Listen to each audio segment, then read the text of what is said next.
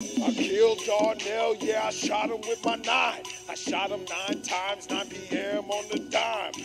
And by the way, it was November 9th.